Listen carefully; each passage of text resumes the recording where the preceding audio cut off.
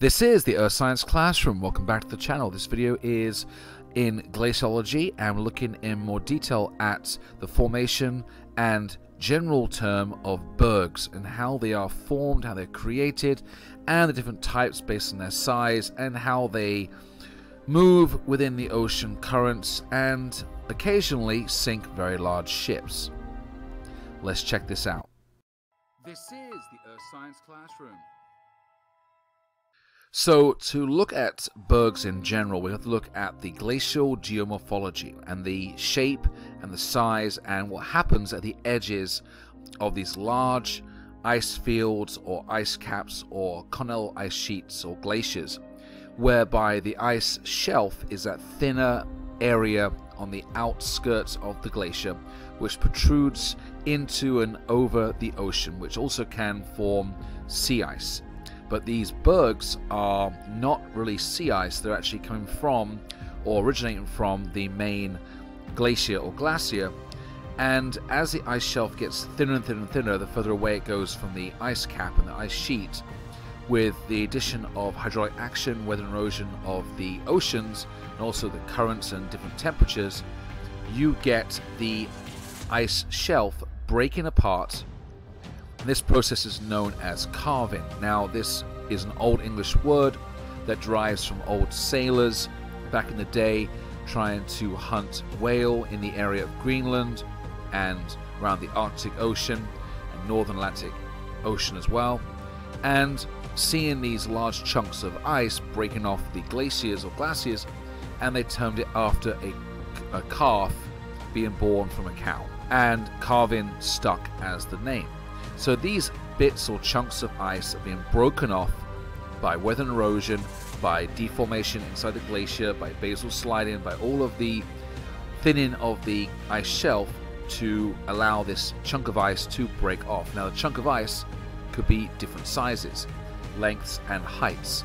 Now the term berg is a general term for any size of ice broken off into the ocean and due to isostasy the berg is going to float. Ice is less dense than water. Water is 1 gram per centimeter cubed, and glacial ice is a maximum of 0.8. So it's always going to float and be less dense than liquid water. So in the ocean, these icebergs, even though they weigh thousands of tons perhaps of ice, they're going to float and have a water displacement to create isostasy and basically balancing or isostatic equilibrium. So these bergs come in different sizes. They start very small and they're called growlers, which are less than a meter high and less than five meters long in length. And then you get a bergy bit, which is a cool word. Uh, it's a bit bigger, the a bit larger size, one to five meters in height and over 515 meters in length. Then we get the small bergs, medium bergs, large bergs, and very large. Now, an iceberg would deem to be anything that is around small, medium, large, or very large. Now, the largest iceberg ever recorded is or was the size of the island of Jamaica in the Caribbean or Caribbean, which is a very large piece of ice. And that would be uh, very daunting to see that if you're just, you know, on a cruise, you know, post uh, 1912 and seeing this very large, you know, island just float on by.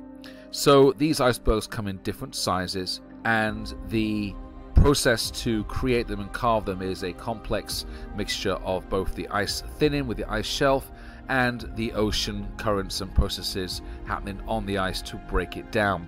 And these calving events can be fantastic and, and amazing. You see some caught on camera and on YouTube, and they're just amazing to witness. I'm sure they're even better live, but also they can cause the occasional tsunami and uh, displacement of water, so being too close could be a little bit dangerous. And these icebergs can, these, these chunks of ice that are calving off, can be absolutely massive.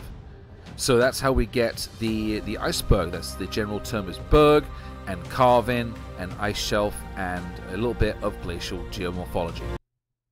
Thank you so much for watching the video. I hope you enjoyed it. If you like it, please subscribe and hit the like button. If you like more on this content, please check out my channel which has all these videos on earth science.